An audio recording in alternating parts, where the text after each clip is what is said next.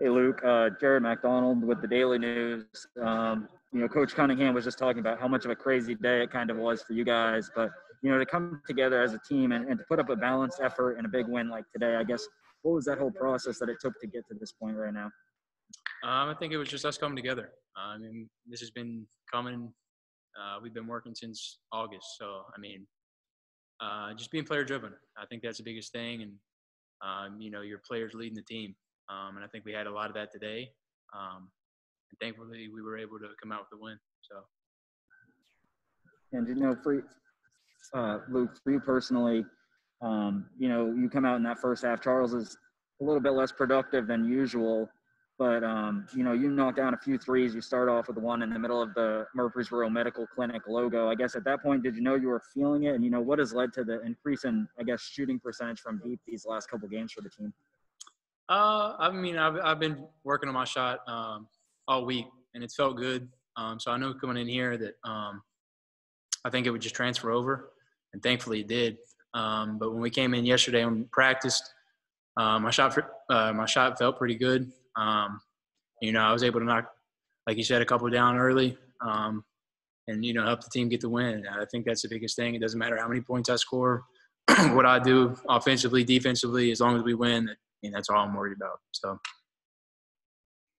Luke, this is uh, Caden with the Herald. Um, as the shooting, you know, has gotten better over the past couple games, do you see uh, the three-point shot becoming more of a consistent part of the offense? I mean, for sure. I think that just when you're knocking down shots, it just builds confidence for people. Um, and if it just carries over, you know, it's more likely to happen. So yeah, I can definitely see it more threes.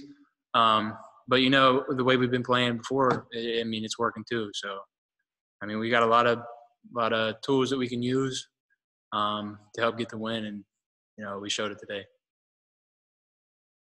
And speaking of that, you know, with Charles and Tay, you know, usually not being the productive selves in the first half, um, and you and Josh and Jordan stepping up, you know, what does that say about the importance of the depth of this team? I mean, we got a lot of bodies that can play, man. Um, you know, thankfully we're we're able to be so deep, um, and we could probably play more more guys, but um, like Coach Cunningham said, we got a lot of bodies that played a lot of minutes today. Um, so our bench is definitely going to have to step up tomorrow and uh, come out ready to fight because that's what it's going to be. It's going to be another fight. So uh, hopefully we can come out and get the win. Anything else for Luke? Hey Carson, uh, Jared with the Daily News. Um, you know, it sounds like it was a crazy day for you guys. Um, you know, with Coach Stansbury not being able to come in, and, and you know, it's been an emphasis lately of being a player-driven team. I guess how much did you see that come into play here today, and the result that you guys had today? Oh uh, yeah, that was a like you said, an interesting situation, unexpected situation this morning. So uh, I think everybody was curious to see how how the guys uh, were going to respond, and uh, you know, I think from uh, the story that the game tells is, is everyone responded, came together, and uh, fought through the adversity that, that we were dealt. Hey Carson, this is uh, Nick Teaser from the College Heights Herald. You know, we're seeing some more points coming from you these last two games. You know, you're starting to heat up. So, just how big is that? Just moving forward, you know, you know, talking about energy and whatnot. Just, you know, it's huge for you seeing you do all that. So, just give me your thoughts on that. Uh, you know, I'm I'm happy to see it for sure. I mean, uh, I was in a stretch where I was I was struggling in some ways, struggling to score. Um, the last two games have been, I, I believe, my two uh, highest point numbers of the season. So you know that's not that's not all that matters, but it but it is good. Helps me build some momentum coming in uh, to this latter part of the season. And Carson, you know, it's not just you putting up numbers, but it's you and Charles. Um, you know, when you're both in the lineup, you guys uh, the last couple games have been working really well together. Today, you fed each other for dunks in the game. You know, how have you seen your chemistry building with him on the court? Because that's something Coach Stansbury talked a lot about. Um, you know, leading up to the stretch. Yeah, as, as the years progressed, uh, we've been, like you said, building uh, building a chemistry on the court together. Uh, he looks for me, I look for him, and we, we try to work the high low as much as possible when, when given those situations. So um, that's really been paying off here over these past few games.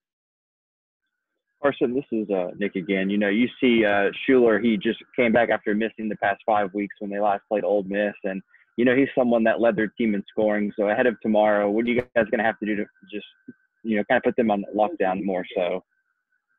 Uh, it's going to have to be a team-wide approach. It's not just going to be one guy going out and locking him up. We're all going to have to have uh, awareness of where he's at and just play help defense, be in gaps, and uh, try to keep him from getting downhill.